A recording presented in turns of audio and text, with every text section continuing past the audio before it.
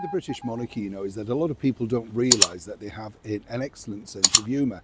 I know that might not necessarily come to the fore because even our late monarch, Her Majesty the Queen, was always incredibly reserved while out and about in the public domain. But she had to be. You know, you couldn't necessarily be caught off guard or indeed be laughing at an inappropriate moment because that picture could be taken, twisted, and used at a further fetch, particularly in the media. And she herself was very aware exactly how the media worked The person actually who schooled Queen Elizabeth in uh, how the media worked was simply this. Elizabeth you see, Queen Elizabeth, the Queen Mother, was very savvy about the world of broadcasting. That's all thanks, of course, to her schooling of King George. Let's not forget the King's speech and exactly what she had to go through in order to make sure that he was broadcast ready. Of course, he never actually made it onto television as such. He was there for the newsreels and all that sort of stuff. But she was very aware exactly how the media could twist certain things. Hence the reason Queen Elizabeth was very cautious around most media.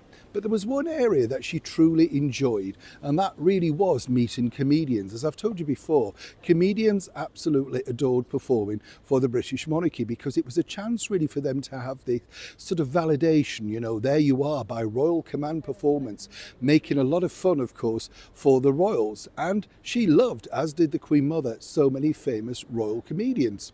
Now, one of the most famous, of course, that they both enjoyed was George Formby, but other American delights included Laurel and Hardy. They used to always have their movie screened at Windsor Castle because time and time again they found the duo very, very amusing. Now, what was interesting was when you look at the Prince Philip, the Duke of Edinburgh, he literally, as I told you before, like the wrong side of comedy, some might suggest, the more archaic, you know, the ones that you shouldn't necessarily like, particularly like Chubby Brown and, of course, Bernard Manning. But these were private thoughts, these were private private uh, sort of laughter moments, as it were. But one comedy duo that truly, truly took the Queen off guard was none other than the British comedy duo Cannon and Ball.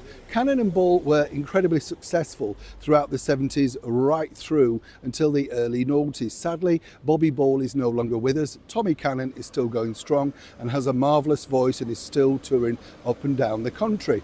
But what I like about this particular story is this. I've been lucky enough to meet Cannon and Ball on a number of occasions and they've performed in front of royalty on a number of occasions too.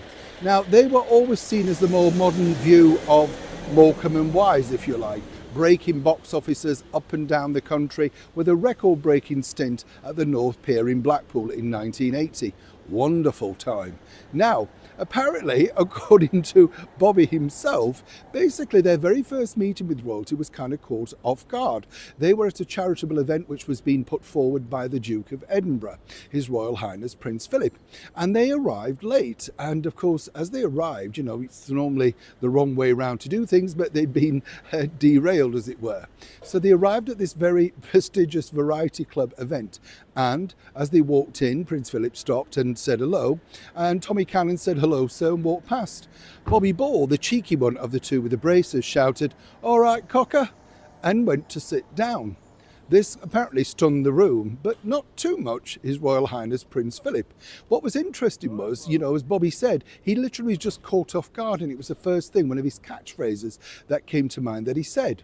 A week later, they were booked to appear at the Royal Variety Performance, and perhaps wondering whether they would still get the booking or not, they intrepidly went along, went down a storm in front of the Royals, and meeting the Queen and the Duke of Edinburgh backstage, Her Majesty the Queen came up to the duo and said, Oh, I knew knew you were Northern. You know, you were so jovial, so funny. Really enjoyed the act. Absolutely splendid. But what shocked the Queen was, as the Duke of Edinburgh came up behind her, he turned to Bobby Ball and said, All right, Cocker, how are you? This literally made her jump. She looked at him, it's on camera, and as if, what, you know? And then, of course, they had to explain the joke. At the side of the stage, apparently the Queen was in a fit of giggles with this wonderful Northern catchphrase. And it just goes to show exactly in private moments how truly they were more down to earth than their media perception allowed. But it's nice to know and share these stories, isn't it, with people about exactly how, well, comedy really does rock the royals. Cannon and Ball, as I say, if you haven't checked them out, they had a spectacular career. And as I also pointed out, you know, Tommy's still very much with us, touring up and down the country. They've made millions laugh, but it seems nobody made the Queen laugh off guard more than Bobby Ball in that one moment. Neil Sean in the very heart of London.